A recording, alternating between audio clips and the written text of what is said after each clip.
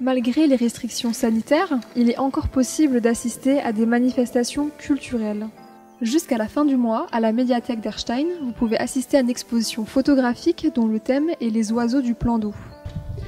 Cette exposition est conjointement organisée par la médiathèque d'Erstein, des étudiants du lycée agricole et l'association Naturide Erstein.